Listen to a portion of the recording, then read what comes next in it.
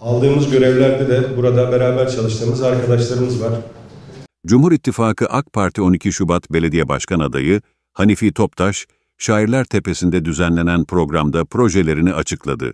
Güneydeki bu ring yolumuz Kösene mevkiinden bir köprüyle Kavlaklı'nın arka tarafından geçecek ve Hasancık'ın olduğu yerde Kuzey Çevre yoluyla bağlanacak.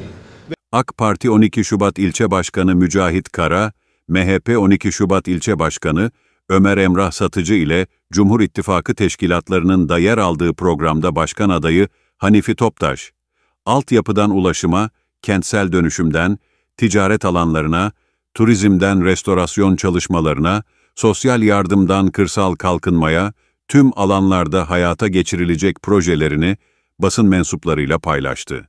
Her zaman ifade ettiğimiz üzere Kahramanmaraş'taki her bir fert, hem devletimiz, hem genel idarelerimiz, merkezi idarelerimiz, hem buradaki yerel yöneticilerimiz, hem STK'larımız, hem sizler ve Kahramanmaraş'taki her bir fert hakikaten ne kadar fazla çalışması gerekiyorsa o kadar fazla çalışıyor ve mücadele ediyor. Sosyal belediyecilikte de fark yaratmak istediklerini belirten Hanifi Toptaş, 12 Şubatlı gençlerimizin yuvalarının temellerini sağlam atabilmeleri için kurulacak olan Aile Yaşam Merkezi projesinin detaylarını paylaştı.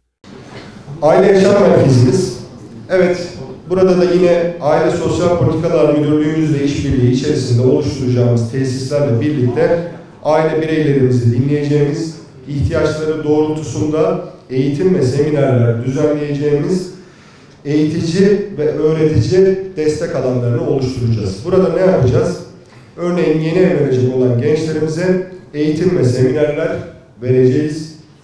Bu eğitimlerde uzmanlar tarafından belirlenecek olan kriterleri eksiksiz olarak tamamlayan çiftlerimize de inşallah evlilik yollarında yanlarında olacağız ve teşvik edici bazı hediyeleri de kendileriyle paylaşarak sağlıklı evliliklerin oluşması noktasında ciddi bir adım atmayı hedefliyoruz. Engelsiz Yaşam Merkezi burada da engelli durumda olan bireylerimizin ihtiyaçları doğrultusunda sanat, spor ve müzik gibi envanterlerini ön plana çıkararak bireylerimize rehabilitasyon ve danışmanlık hizmetini sunacağımız inşallah engelsiz yaşam merkezlerimizi de ilçemize kazandırmayı hedefliyoruz. Ailelerimizin de özellikle bu noktada bir nebze olsun nefes alabilecekleri zamanları onlara kazandırmayı hedefliyoruz inşallah. Toptaş, özellikle kırsal mahallelerimiz için yerinde hizmet imkanı sağlanacak mobil iletişim araçları projesi hakkında da bilgiler paylaştı.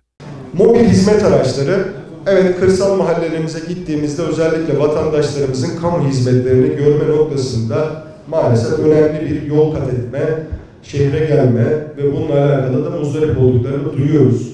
Oluşturacağımız mobil hizmet araçlarıyla birlikte inşallah bir ring servisi şeklinde bu araçlarımızı e, bütün kamu hizmetlerini oluşturacak şekilde, yapabilecekleri şekilde donatacağız, kırsalımıza göndereceğiz ve buradaki hemşehrilerimizin kamuyla ala alakalı olan hizmetlerini bir bir şehre gelmelerine gerek kalmadan yapmalarını sağlamayı hedefliyoruz inşallah.